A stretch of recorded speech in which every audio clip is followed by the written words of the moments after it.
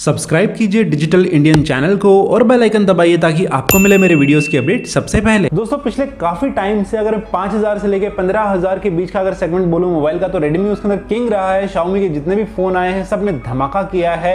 हाँ थोड़े बहुत टाइम से अगर मैं बात करूँ तो कुछ और फ़ोन जो है, वो तगड़ा कॉम्पिटिशन दे रहे हैं रेडमी को। लेकिन अब रेडमी ले आया है नोट 6 प्रो जो कि सक्सेसर अगर मैं बोल सकता हूँ तो नोट 5 प्रो का आप एक नेक्स्ट वर्जन बोल सकते हैं। क्या ये फ़ोन आपको लेना चाहिए? क्या आपके पास अगर नोट 5 प्रो है तो आपको अपग्रेड करना चाहिए कि नहीं करना चाहिए? या फिर नोट 6 में जो नोट 6 प्रो जो है, उसमें नोट 5 प्रो से क्या है अलग चीज़ें?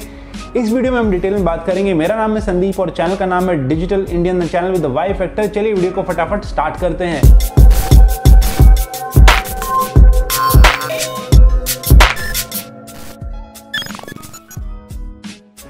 दोस्तों, सबसे पहले अगर मैं बदलाव की बात करूँगा तो वो है एक बड़ा और ब्राइट डिस्प्ले जी हाँ Redmi Note 6 Pro के अंदर आपको मिलता है 6.26 इंचेस का फुल एचडी डिस्प्ले जो कि full H plus IPS LCD full screen display है। इसके अंदर आपको 1080 इंटू बाईस का पिक्सल मिलेगा। साथ में आपको मिलेगा 19 9 का एस्पेक्ट रेशियो 86% जो है इसका बॉडी टू स्क्रीन रेशियो आता है।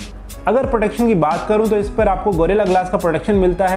डायमेंशन की अगर बात करूँ तो Redmi Note 6 Pro जो है, वो Redmi 5 Pro से थोड़ा सा बड़ा है। अगर बात करता हूँ स्क्रीन साइज़ की, Redmi 5 Pro जो था, वो 5.99 इंचेस की फुल एचडी स्क्रीन के साथ आता था और इसका जो है 6.26 इंचेस का है।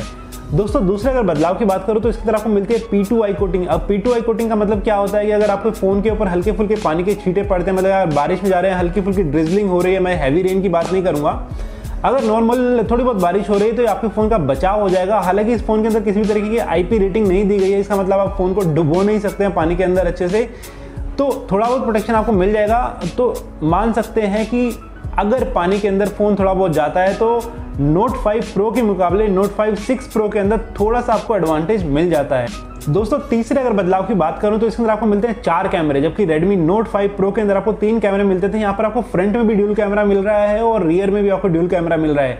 ऑनेस्टली बताऊँ तो फ्रंट के अंदर इस प्राइस सेगमेंट में, क्योंकि इसका जो प्राइस सेगमेंट है, वो लगभग चौदह हज़ार की रेंज के आसपास ही होने की उम्मीद है।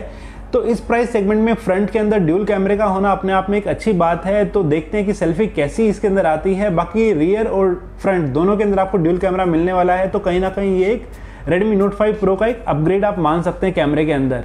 अगले अगर बदलाव की मैं बात करता हूँ तो इसके अंदर आपको दो वेरिएंट मिलते हैं, एक चार जीबी चौसठ जीबी का, और दूसरा वेरिएंट जो आपको मिलने वाला है, वो छह जीबी और चौसठ जीबी मतलब छह जीबी रैम और चौसठ जीबी स्टोरेज के साथ मिलने वाला है। दोस्तों, जब ये फ़ोन थाईलैंड के अंदर लॉन्च हुआ तो उसके अंदर आपको सिर्फ़ एक वेरियंट मिला था, क्योंकि चार जीबी रैम और चौसठ जीबी स्टोरेज के साथ था, लेकिन इंडिया के अंदर ये दो वेरियंट के साथ लॉन्च हो रहा है तो आपको इसके अंदर दो ऑप्शन मिलने वाले हैं, अगर आप परचेज करने के लिए जाते हैं। तो ओवरऑल अगर मैं अपनी ओपिनियन की बात करूँ दोस्तों तो जो मुझे जो चीज़ें अच्छी नहीं लगी वो ये है कि ये खास अपग्रेड मुझे नहीं लगा है। अगर मैं Redmi Note 5 Pro से अगर इसका कंपैरिजन करता हूँ, क्योंकि प्रोसेसर जो है वो सेम 625 का प्रोसेसर इसके अंदर मिल रहा है। अगर बैटरी की बात करता हूँ तो बैटरी भी सेम मुझे उतनी लगभग मिल रही है। लुक एंड फील की अगर मैं बात करता हूँ तो रेडमी कुछ खास अपग्रेड अपनी लुक एंड फील के अंदर अभी नहीं कर रहा है। लगभग बॉडी वैसी वैसी मिलती है, जो नॉच है इसकी।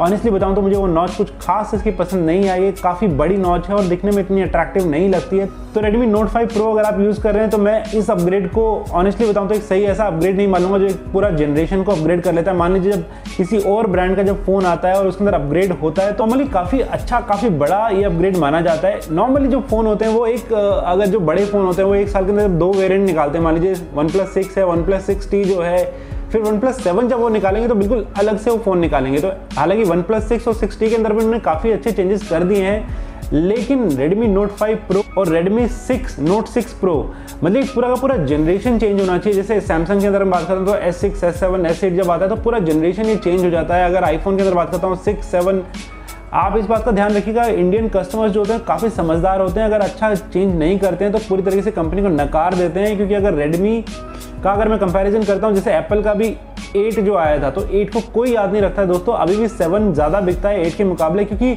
लोगों को पता था कि ये सेवन का एक तरह से अपग्रेड है एट जो है वो अपने आप में एक नया मॉडल नहीं है। तो लोगों ने टेन को एक्सेप्ट करना स्टार्ट कर दिया और इंस्टेड एट को बिल्कुल रिजेक्ट करना स्टार्ट कर दिया। तो ऐसे में रेडमी को इस बात का ध्यान रखना चाहिए कि मार्केट के अंदर इतना कॉम्पिटिशन अब हो गया है तो कहीं ना कहीं उसको जब वो एक फ़ोन लेके आता है तो उसके अंदर उसको एक अच्छा खासा अपग्रेड करना चाहिए। और नोट फ़ोन के ऊपर जो है रेडमी के जो नोट फ़ोन जो आते हैं सीरीज़ आती है, उसके ऊपर लोगों को काफ़ी ट्रस्ट है। और ये सबसे ज़्यादा चलने वाला अगर मैं सीरीज़ की बात करता हूँ तो ये फ़ोन सबसे ज़्यादा चलने वाला रेडमी की तरफ़ से आज तक आए हैं। Redmi note four note three note five ये एक ह्यूज सक्सेसर रहा है, लेकिन इस बार मुझे लगता है कहीं ना कहीं मुझे थोड़ी सी डिसअपॉइंटमेंट हुई है। मैं इसको एक खास अपग्रेड तो नहीं बोल सकता हूँ, एक जनरेशन चेंज तो नहीं बोल सकता हूँ। तो मेरी तरफ़ से इस फ़ोन के लिए कुछ खास मैं अपना ओपिनियन नहीं रखता हूँ। अगर आपके पास नोट 5 प्रो है तो आप इसको ना ही खरीदे तो ठीक रहेगा। अगर आपके पास नोट 5 प्रो नहीं है तो रेडमी 6 प्रो के लिए आप जा नोट 6 प्रो के लिए आप जा सकते हैं। तो ये था मेरा पर्सनल ओपिनियन इस फ़ोन के बारे में, और इसी तरीके की वीडियोज़ अगर आपको देखनी है तो दोस्तों चैनल के साथ बने रहिएगा। अगर आपको वीडियो ठीक लगा है तो आप चैनल को सब्सक्राइब कर सकते हैं।